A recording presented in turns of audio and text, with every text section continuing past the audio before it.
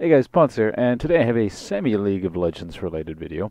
Um, I was out shopping earlier at a place called Osaka. Technically, it's just a, a branch of T&T, which is a Chinese supermarket, but they call it Osaka, and it's like a pseudo-Japanese grocery store. Um, but in any case, I found an interesting snack. Um, this thing is like some sort of hybrid of Garen and Yasuo. I'm going to zoom in on this for a second. It's, um, because it's hard to see from back here. It's going to mess up the lighting in the webcam, so fair warning for because it'll fix itself eventually. But see, this is uh, the Yasuo Garen hybrid. Um, I suppose if one of them turned female and then they had a child, it would look something along these lines. Very manly guy standing atop uh, the potato mound. He's conquered the potato sticks. I haven't opened this yet, so I have no idea what they taste like. In fact, I think we're sending them somewhere, so I'm not going to be able to taste these.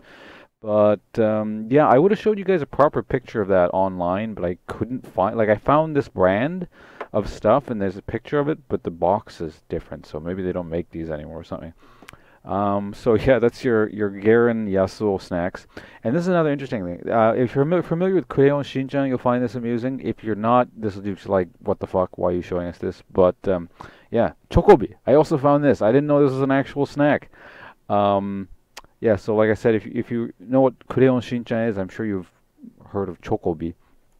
Uh, it's like this fake snack that exists in that world. Like there's a lot of plots uh, that revolve around the acquisition of this chocolate snack called Chocobi. Um, and now it's apparently a real snack. So I'm going to go actually eat that one as soon as I'm done this video. So, uh, no, actually, why don't we do that now? Let's just tear it open. Tear open the Chocobi. I'll tell you how this stuff tastes. Smells nice. Live action eating. Just quality entertainment, folks. It tastes pretty good. It actually tastes a lot like um, a chocolate, giant chocolate Rice Krispie.